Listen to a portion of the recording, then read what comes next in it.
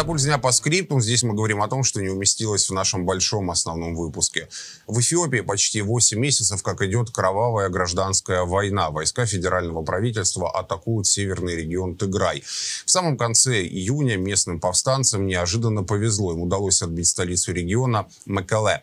Незадолго до этого, видимо, предчувствие наступления повстанцев, город покинули все служащие временного правительства. А премьер-министр Эфиопии Аби Ахмед попытался представить это поражение как одностороннее гуманитарное перемирие. Нынешний конфликт начался с того, что в ноябре 2020-го глава государства обвинил ополченцев из Народного фронта освобождения Тыграя в нападении на армейские казармы. В Тыграе были введены войска. НФОТ, аббревиатура политической силы, бывшие союзники Абия Ахмеда по правящей коалиции, которая находилась у власти в Эфиопии с 91 по 2018.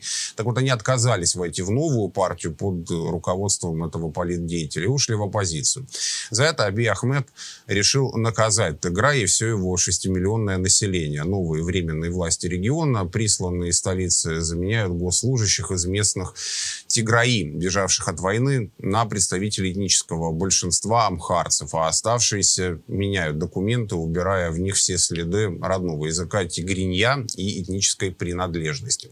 Кроме того, к эфиопской армии и вооруженному ополчению из южных регионов, населенных крупнейшей в стране народностью Амхара присоединились войска соседней Эритреи, страны, которая когда когда-то была частью Эфиопии, но в результате многолетней кровопролитной войны отделилась от нее в начале 1990-х, получив независимость. Власти Эфиопии сначала пытались отрицать участие эритрейских войск в операции против Тиграи, но потом скрыть этот факт уже не могли. Эритрейцам приписывают жесткие нарушения прав человека, включая этнические чистки и массовое сексуальное насилие. В регионе продолжается масштабный гуманитарный кризис. ООН неоднократно предупреждала, что сотни тысяч человек, включая 140 тысяч детей, находятся на грани голодной смерти. Но точно количество жертв конфликта установить сложно. Власти Эфиопии отключили в Тыграе телефонную связь и интернет, а доступ СМИ в зону военных действий крайне затруднен. Поэтому журналистам и международным организациям приходится выяснять обстановку со слов тыграйских беженцев в других странах. Несмотря на недавнюю победу повстанцев, взявших под свой контроль столицу Тыграя, Мекеле, большая часть региона до сих пор находится под контролем федеральных войск, враждебных Тиграи этнических группировок и эритрейских военных. Но даже если федералам в конце концов удастся подавить мятеж Тиграи, международному имиджу премьер-министра Эфиопии Аби Ахмеду уже нанесен непоправимый ущерб. В начале операции Аби, обладатель Нобелевской премии мира, обещал разобраться разбираться с повстанцами, отыграя быстро и бескровно, но вместо этого устроил бойню, в которой погибли десятки тысяч мирных жителей, больше миллиона стали беженцами, а еще сотни тысяч э, находятся в состоянии вынужденной голодовки. Вообще, Нобелевка и Замир не раз промахивались, ну или попадали не в того. В 1939-м, всего за три месяца до вторжения Германии в Польшу и начала Второй мировой войны, на Нобелевскую премию мира был номинирован Адольф Адольф Гитлер. Сделал это член парламента Швеции, социал-демократ Эрик Готферд Кристиан Брат. В своем представлении он назвал Гитлера посланным Богом борцом за мир, выразив уверенность, что диктатор способен принести мир Европе, а может быть и всей планете. Это представление наделало немало шума. Несколько шведских университетов даже отказались от лекции Брантна парламентарий был вынужден оправдываться, как оказалось, антифашист Брант решил, что выдвижение Гитлера на премию мира будет неплохой шуткой. Что шутка удалась, но Нобелевский комитет со звериной серьезностью внес Гитлера в официальный список претендентов на Нобелевскую премию мира. Он числится там и поныне в перечне из девяти номинантов 1939 года. Премия мира всегда вызывала немало споров, и главное возражение связано с тем, что Нобелевскую вот эту самую премию нельзя отозвать назвать. Присуждение, присужденное однажды, она так и остается навсегда связанной с именем конкретного человека. Поэтому даже если какой-то политик получает премию мира за миротворческую деятельность, а потом оказывается вовлеченным в конфликт, то он все равно остается Нобелевским лауреатом. Что, в свою очередь, создает изрядные дипломатические проблемы. В 2009 году журналист газеты «Нью-Йорк Таймс» Рэнди Коэн, например, написал, что премия должна быть отозвана в тех крайних случаях, когда бывший лауреат постоянно действует в разрез с ценностями, которые в ней воплощены. Бывший секретарь норвежского Нобелевского комитета Гейер Лунденстат в книге «Секретарь мира» написал о том, что присуждение премии мира президенту США Бараку Обаме не оправдало надежд комитета. За что, впрочем, тут же поплатился. Его обвинили в нарушении кодекса Нобелевского фонда, требующего хранить молчание о номинантах и о процессе отбора кандидатов на протяжении 50 лет.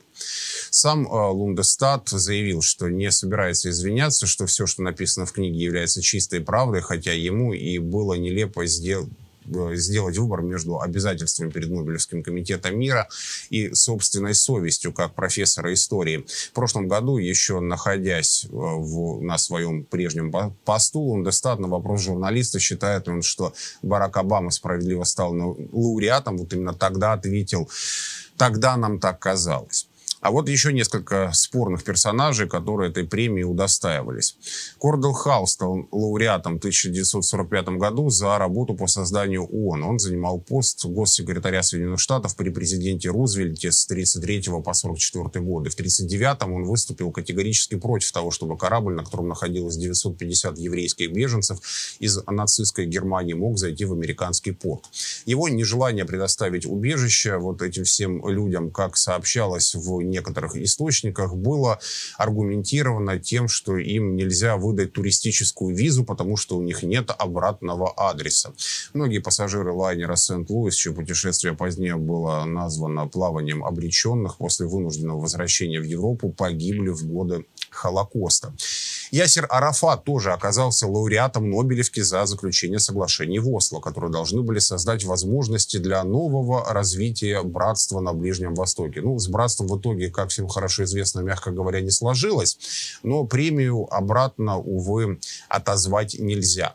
Реакция на награждение Арафата была самой противоречивой. Джей Нор... Нордлингер, автор книги «Они называют это миром. История Нобелевской премии мира», назвал его худшим человеком, когда-либо становившимся лауреатом вот этой вот самой награды. Чтобы сбить э, градус э, серьезности, я предлагаю вспомнить, что наряду с Нобелевской премией существует и Шнобелевская премия, которая Кстати, присуждается да. за самые противоречивые открытия, которые заставляют нас улыбнуться. Ну, например, в 2019 году известный итальянский шеф-повар, к сожалению, не помню его фамилию прекрасную итальянскую, он э, получил Шнобелевку за то, что э, утверждал, что пицца полезно для здоровья. И что если употреблять пиццу ежедневно, то мы избежим рака пищевода. Но обязательное условие, такая маленькая оговорочка.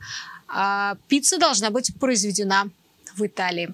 А, еще, еще, если мы говорим а, о Шнобелевке, то в прошлом году чуть было Шнобелевскую премию не вручили Путину. Наряду с, наряду с Трампом, наряду с Лупасом Абрадором, наряду с Реджепом Тайпом Эрдоганом. И также в этот список номинантов были включены еще несколько президентов. Лукашенко, Гурбангул Бердамухамедов, президент Туркменистана. Так вот, жюри Шнобелевского комитета утверждало, что вот вышеперечисленные политики использовали коронавирус в своих политических целях. Какой ужас. У нас все к данному часу. Увидимся и услышимся завтра в нашем большом выпуске «Пульс дня».